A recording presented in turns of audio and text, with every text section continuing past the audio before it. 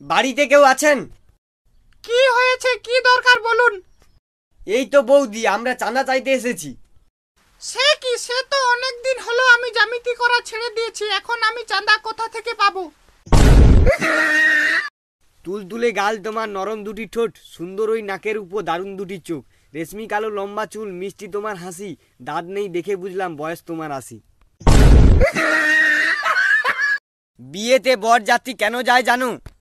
কারণ বড়রা ছোটবেলায় শিখিয়েছে কারও সুখের সময় পাশে না থাকলেও দুঃখের সময় পাশে থাকা উচিত।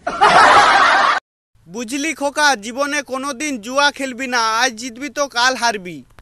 বুঝে গেছি বাবা একদিন ছাড়া ছাড়া খেলতে হবে।